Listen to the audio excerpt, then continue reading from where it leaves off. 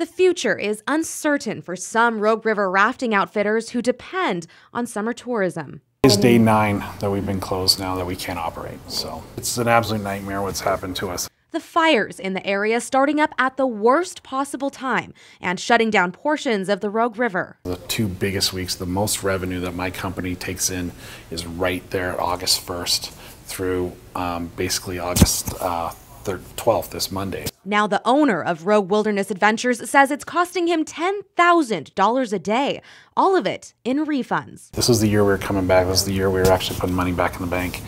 And to have now that shut down, it's it's putting us down into a, a, a death spiral, to be honest with you. He says it's become so bad.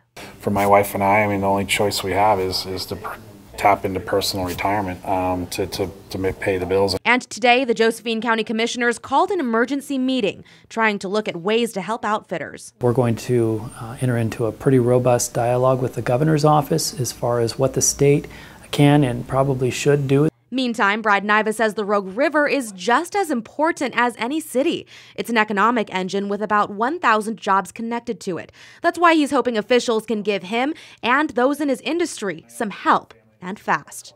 In Grants Pass, Christine Pitawanich, NBC5 News.